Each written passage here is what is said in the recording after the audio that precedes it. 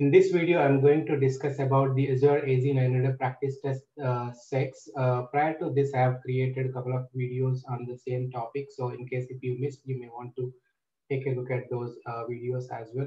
So there is no need to follow any sequence. I just made a series of videos on the practice test. So uh, you, in case if you are interested, you can take a look into this. Uh, the question number one uh, in this video, so there are 40 questions covered in the uh, practice test six. Uh, Azure Advisor can generate a list of Azure virtual machines that are protected by Azure Backup. The answer is no. Uh, Azure Advisor will not generate the list of virtual machines. what it will say is the list of virtual machines which are not backed up backup is not enabled. So that list we can get, but not the uh, protected by the Azure backup. Question number two, if you implement the security recommendations, uh, security recommendations provided by the advisor, uh, your company score will be decreased. So the answer is no, because uh, the advisor will not uh, recommend the security recommendation. That's the security center job and also it will not be decreased, it will be increased. Question number three, uh, to maintain Microsoft support, you must implement the security recommendations provided by the Azure advisor within period of 30 days. So there is no such uh, prerequisite uh, that you have to fix that within 30 days. So it's up to you. The answer is no. Azure Firewall will encrypt the network traffic uh, sent from the Azure to the internet. So that's not true. Azure Firewall uh, is not meant for the encryption. It is meant for controlling the traffic between the subscriptions, um, not for the uh, encryption. Answer is no. So you can take a look at the some of the features of the Azure Firewall here. Next question, uh, NSG will encrypt all the network traffic sent from the Azure to the internet. Again, NSG purpose is not for encryption. It is actually controlling the traffic between the uh, virtual networks. The answer is no. You can look at the more detailed description on the NSG here. Azure virtual machines that run Windows Server 2016 can encrypt the network traffic from the virtual machine to the uh, host on the internet. Again, this is not encrypting the internet traffic. Answer is no. Question number seven, authentication, authorization to access the Azure resources can be provided only to the Azure Active Directory users. So the only to the Azure Active Directory users, that's what you need to remember. It's not only for the Azure Active Directory users, it can also be guest users um, not uh, only the corporate users? Answer is no. Identity stored in the AD, uh, third-party cloud services, on-premise AD can be used to Azure uh, resources. Yes, so uh, identity stored in all these kind of uh, identity providers can be used to access the Azure resources. The answer is yes.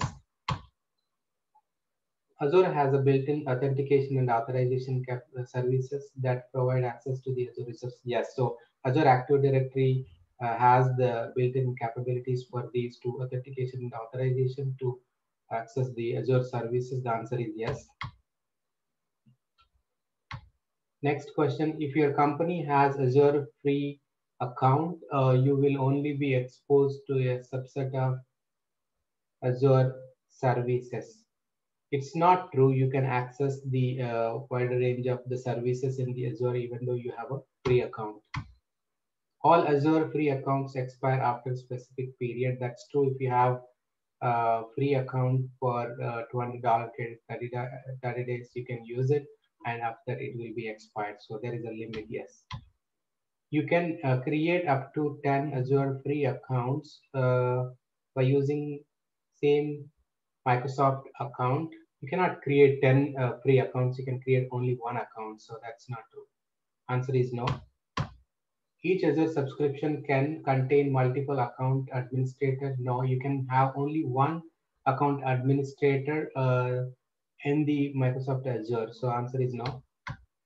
So you can see the uh, detailed description on the account administrator. So you can have only one per account. And uh, these are the permissions and some of the notes related to the account administrator. Next question, uh, each Azure subscription can be managed by using the Microsoft account only. So that's not true. You can also manage uh, um, Azure subscriptions by using the other third party uh, uh, uh, identities like, you know, Okta is one of the examples. An Azure service resource group contains multiple Azure subscriptions. A resource group can contain multiple services, not multiple subscriptions. So other way around is true. Multiple one subscription can have the multiple resource groups.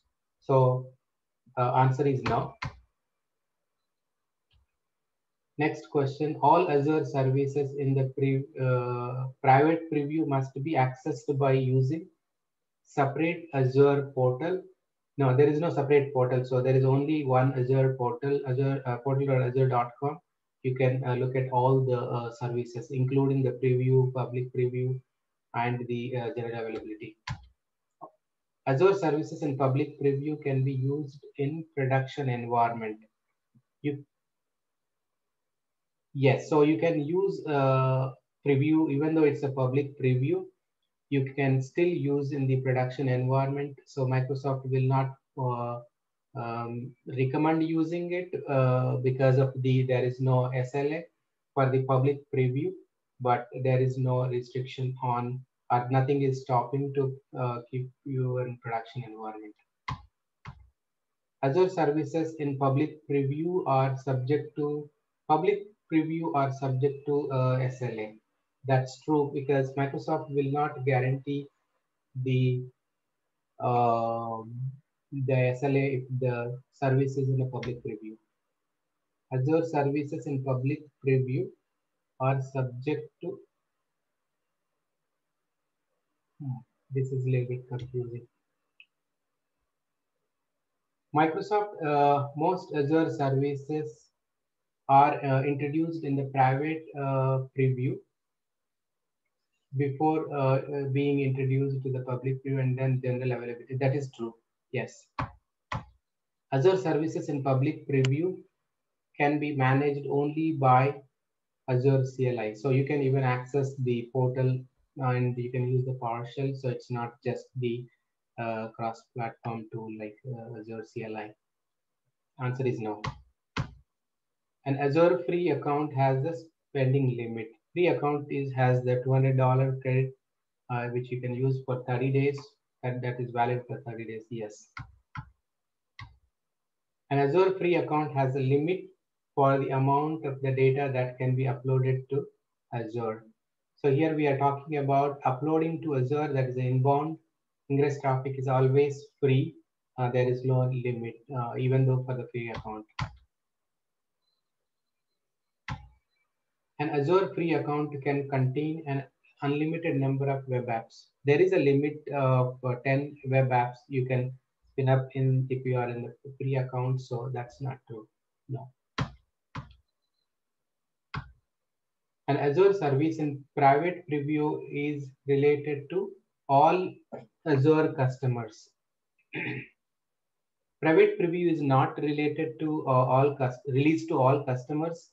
They will release only specific uh, customers so that they get the feedback from the customers and they can improve before uh, before making them public preview or the general availability. So the answer is no. If you set permissions to a resource group all the other resources in that resource group inherit the permission. So that is true. Um, yes Next question, your Azure trial account expires last week. You are now unable to create additional uh, AD users. If you are not able to, this is not to create additional AD users. Um, is not true. So no change is needed is not the answer. Start an existing Azure virtual machine. So when you start an uh, start when you try to start the existing Azure virtual machines, it will say your expire, uh, account is expired. So that's the right answer. Your company has 10 departments. The company plans to implement an Azure environment. You need to ensure that each department can use different payment options for the Azure services consumed. So uh, if you want to maintain a separate billing, uh, you will have to have a separate subscription for each department. Subscription is the right answer. You can create a resource group inside another resource group. So the nested resource groups are not possible. Answer is no. An organization that hosts its infrastructure does no longer require a data center. So once you move um, into the public cloud, uh, you don't need a data center in the public cloud is the correct answer. Cosmos DB is the PaaS service model uh, platform as a service is the answer. Your company has several business units. Each business unit requires 20 different Azure resources on daily basis. So you are trying to do the uh, operations on the daily basis. All the business units require the same type of Azure resources. You need to recommend a solution to automate. So here we are talking about automating the Azure resources uh, infrastructure as a core uh, IOC, that is possible through the Azure Resource Manager templates. So JSON ARM templates uh, can use to automate all these resources. So answer, first one is the answer. You are troubleshooting a performance issue for an Azure uh, application gateway. You need to compare the total request to the failed request during the past six hours. So that is possible uh, through metrics in the Azure uh, application gateway you have an Azure Active Directory tenant named uh, contosocloud.onmicrosoft.com. So your company has a public DNS zone for contoso.com. You add a contoso. So here uh, adding the DNS record, DNS record, adding the DNS record, you need a TXT entry uh, in the uh, domain registrar. Next question. Your company plans to move several uh, servers to Azure company complaint uh, policy states that has that a server named uh, FinServer must be in a separate network segment. You are evaluating uh, which Azure services can be used to meet the compliance policy. So in order to segregate your uh, particular um, server, you need to create a separate virtual network. So the second option, a virtual network for FinServer and the another virtual network for all remaining servers so that you can segregate the, uh, the FinServer. Azure DevOps services can be used to build and host web applications. That's not true. Azure DevOps is used for uh, you know CI/CD. So hosting the web application is the app service plan. Which of the following is uh, uh, Apache Spark-based analytics tool? So Analytics tool is the uh, Azure Databricks. You need to manage Azure by using the CLI, Azure Cloud Shell. So Cloud Shell is available uh, here in the, when you click on the option number one, that's the Cloud Shell will open where you can enter, you can use your uh, PowerShell and the uh, bash commands in the portal. You can configure Azure AD activity logs to appear in the Azure monitor. Yes, you can configure the AD logs in the uh, to appear in the uh, Azure monitor. From an Azure monitor, you can create alerts. Yeah, that's true.